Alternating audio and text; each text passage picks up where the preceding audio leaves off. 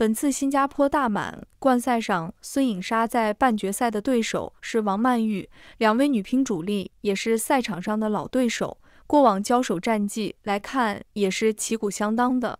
但这次半决赛中，孙颖莎是以四比零的大比分战胜了王曼玉，继去年乒超联赛之后，也是孙颖莎连续第三次战胜了王曼玉。但不得不，这次比赛争议最大的还是钱天一了。钱天一作为这次新加坡大满贯赛女单决赛的另一位球员，半决赛中钱天一也是以四比一的大比分战胜了张睿。要知道，张睿虽是一名女乒主力周边的球员，但曾多次战胜过世界第一的孙颖莎，能如此惊人的比分战胜张睿的钱天一，可见其状态在决赛也不会差。而钱天一的本次大满贯赛的晋级之路是充满了艰辛。首轮钱天一是三比零轻松战胜了台湾名将陈思雨，次轮是三比二的比分绝地逆转了外协最有实力的伊藤美诚，第三轮也是三比二的比分让二追三逆转了法国一姐袁嘉楠，第四轮是四比一战胜了欧洲的波尔卡诺娃。钱天一自从有徐辉教练的指导下，钱天一的球技的进步已经是有目共睹了。今年的第一站赛事南非战钱天一是立刻多位外协新秀拿到了单打冠军，在果阿球星挑战赛上，钱天一也是扫除一个外协名将，战胜了曾在去年亚洲杯击败过陈幸同的印度一姐巴特拉。而本次打进世界级大赛大满贯赛决赛的钱天一，也算是真正表明了想晋升主力的志向。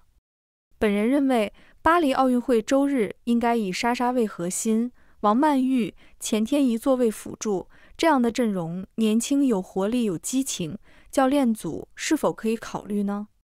本次赛事决赛将会是孙颖莎和钱天一的对决，莎莎实力堪称强大，心理素质好。经验丰富，钱天一作为新星，有能力与莎莎一较高下，手心手背都是肉，谁夺冠都是国乒的胜利。今晚十九点，最后的冠军争夺将在孙颖莎和钱天一之间展开。这个结果，估计赛前很多人都没想到。如果要问在女乒方面，这次大满贯的黑马是谁？应该有两个。一一个是从资格赛一路打上来，最后闯进八强，并与孙颖莎莎的难解难分的韩国二十一岁新星朱千熙。二另外一个也是最大的黑马，就是过关斩将、屡创惊人之举，一路杀进决赛的钱天一了。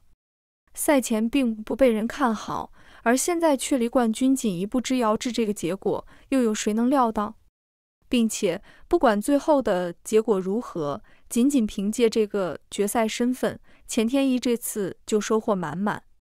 不仅拿到了一千四百分的高积分，另外还有六万美元的高奖金，可以说是名利双收，满载而归。而且，凭借这一千四百分，钱天一的世界排名也将发生很大的变化，由原来的一千二百一十分。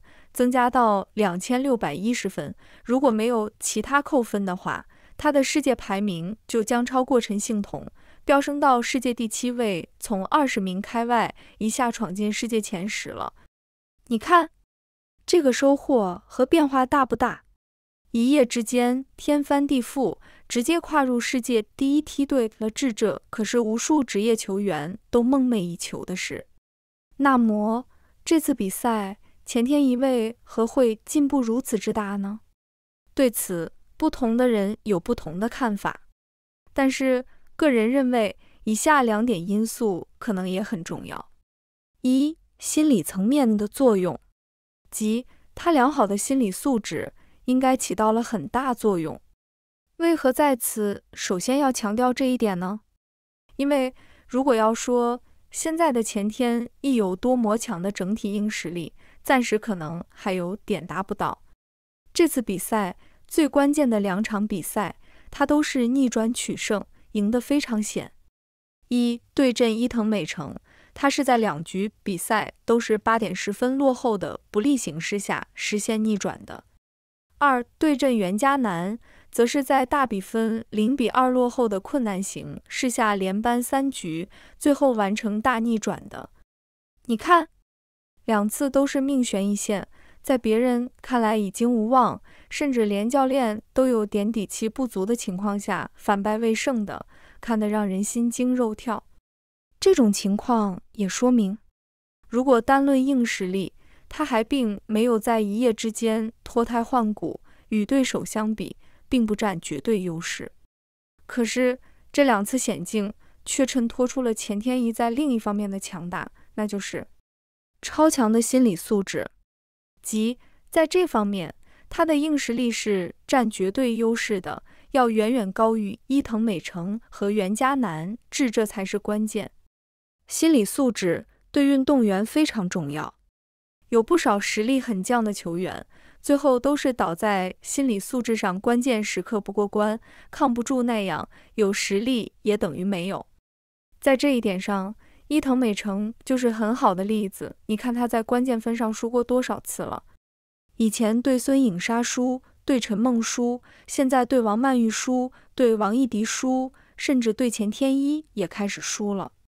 一到关键时候就掉链子，看似外表波澜不惊。实则内心可能已紧张的不得了了，这就导致手头发紧，技术变形，失误连连，屡失良机。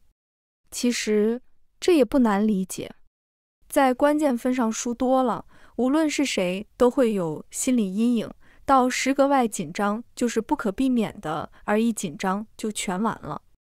所以说，过硬的心理素质对球员太重要了，高手过招。胜负在毫厘之间，往往也就是一个关键分的差距。如果你老是心理素质不过关，不能打关键分，那就很难了。而在这一点上，钱天一则表现得很好。他那超强的心理素质，不仅只体现在这一次，在以前的比赛中也是屡屡上演，甚至已经成为了他个人的标签。因此，心理素质的强大。应该是本次钱天一有惊人表现的首个重要原因。如今的钱天一有点像三年前的孙颖莎。二、长打比赛的作用。这里所说的比赛，就是类似 WTT 赛事这样的国际比赛。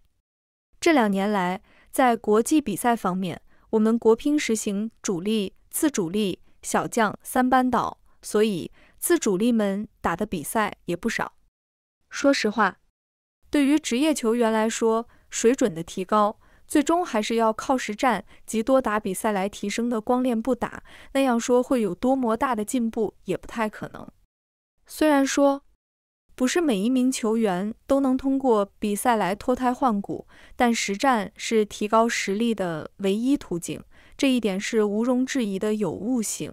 会总结，心理强的球员是能通过比赛来迅速提高自己的。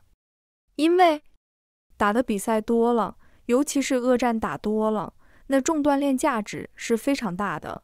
这不是只关在家里训练所能相比的，像钱天一就是这样的例子。你看，在前面的 WTT 比赛中，他已经打了多少次逆风球？